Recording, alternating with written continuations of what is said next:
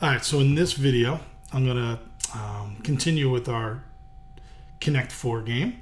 Uh, in the last video, we ended up, we created our little grid. Um, we have some text here letting us know it's Red's turn to start the game, but nothing happens as I click on the screen here. So let's uh, let's change that up. Um, we're gonna come in here and do a few things with our uh, code. Um, so you may remember um, last time I told you we had this turn variable. It's set to two. Um, it's even, and thus it's red's turn whenever it's even. So it's going to be red's turn to start out. Every time we press the board, um, we're going to increment turn. We at the end of this, we will put in some uh, logic for dealing with if somebody clicks the screen, but not necessarily the grid, because um, you don't want it to take a turn at that point, right? Um, and so this is where we have uh, it displaying red's turn. And so we're going to use modulus to uh, rotate between red's turn and green's turn. Um, anyone who's ever used that before is probably familiar with what I'm going to do. Um, but this is what it would look like. Let me put red's turn in here in this part of the if statement. So I have an, an if statement that is saying if turn modulus 2, which remember modulus means um, this basically reads turn divided by 2, what's the remainder? And let's see if that is equal to 0. Um, if something divided by 2 has a remainder of 0, that's an even number, so it would be red's turn. Otherwise, else, it's yellow. So that's how that works. Nothing too complicated, right?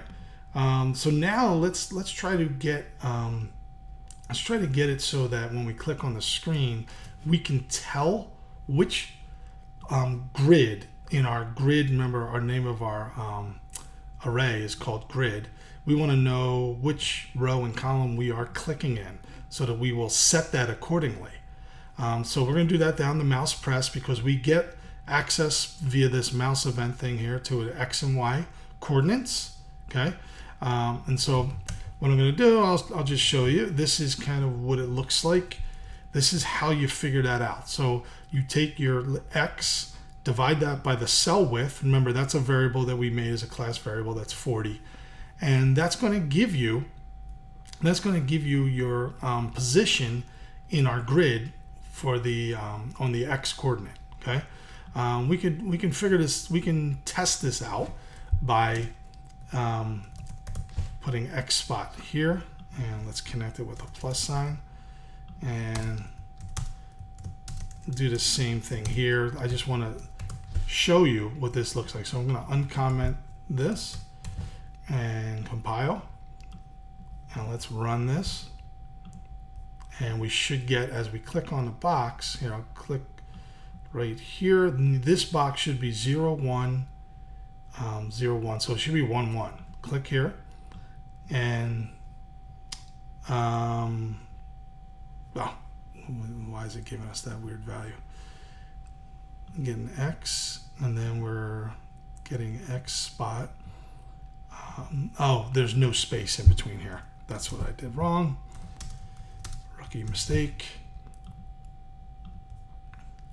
Because that this is the one here. So it was working just fine. Um, but let me just run it again just so you can kind of see. All right. So click here. Um, on our X spot, it was 56. Divide that by 40, it's 1. And that's correct. That's the right spot. On the Y, it was the same thing. It was 56 down. Divide that by. And we can test this out. Let's go over here. This should be 0, 1, 2, and then 0. So 0, 1, 2, and 0. Right? Perfect. Because if you divide in 23, it only it doesn't go in once. So it's got to be 0 is the uh, answer there. So that works out well. So we can actually tell where we are in our grid now um, using that simple math. It's not complicated, but it might not be obvious if you're new to programming. Um, so I'm gonna we're gonna do something very similar to what we did up in the paint method for rotating turns. We're gonna do it um, right here, and we're gonna put in the, doing our same modulus trick, and we're gonna say we're gonna substitute in these for the parts of the grid. Um, and the X, so the, since the X, you know, starts at the left-hand side and goes to the right, that kind of it does it sounds kind of seems counterintuitive. It seems like this should be X and this should be Y, but the remember the X is going from left to right. That's really your columns, and the Y is starting at zero at the at the top of the screen and going down. So that's really your rows. And remember in Java you go row column. So that's why they are in those spots. And so red when it's even, and this is yellow. Um, so when you create a new color, this is RGB. If you have red and uh, green up real high and blue down, it's going to make you a yellow. So um, let's test it out and see that it's working. Oh, I clicked there. So yeah, we're getting a good rotation. Red's turn, red. Perfect. So that's working great. Um, so the next video, I'm going to show you how to, when you click here, this one should actually drop down and be right here. Okay. Um, so we'll, we'll continue this logic. Thanks. Let me know if you have any questions and look forward to part three.